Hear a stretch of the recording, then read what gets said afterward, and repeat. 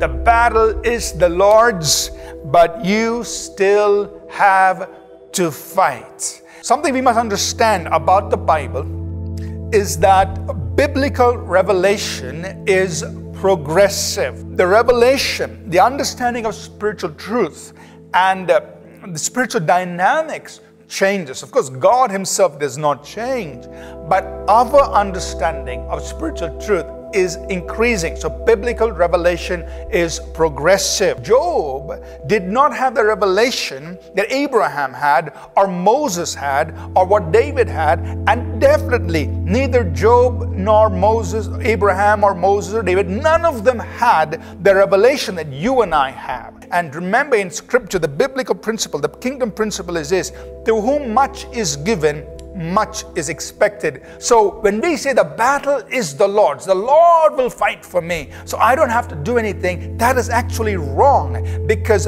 you're taking an Old Testament revelation and you're positioning yourself to live by that, but you're not supposed to be living by that. You're supposed to be living by what the Lord has given, instructed you and me in the New Testament. It is true, God is still the warrior. He hasn't changed. He is still the God who fights for His people.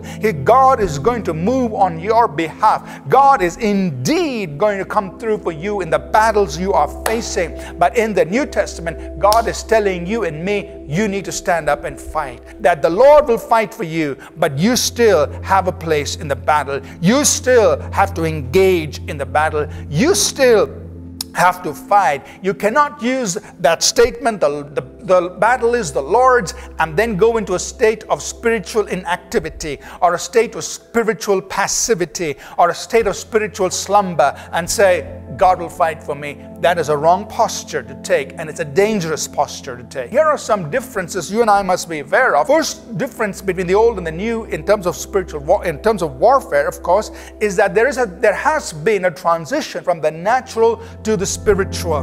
In the natural, the battles that, the people of God were fighting in the Old Testament primarily were natural battles. They had to fight to occupy territory. They had to fight to preserve their lives themselves from their enemies. So they were all natural battles against other tribes, against other, uh, other enemies. They were natural. But when we cross the Testament, our battle today is not natural battle. As we read in Ephesians 6, we are not fighting flesh and blood. We are fighting spiritual enemies. The second thing that we see is this that our enemy, Satan, in the Old Testament was an oppressor, but because of the cross of Jesus Christ, that enemy who was once a dominating force, who was once an oppressor, today is clearly a defeated enemy. Put yourself in the New Testament, and that what is your posture against satanic against Satan and his demons?